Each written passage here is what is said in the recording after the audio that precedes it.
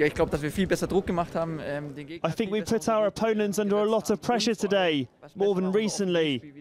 We looked a lot better going forward too, and you can see that from the chances we created.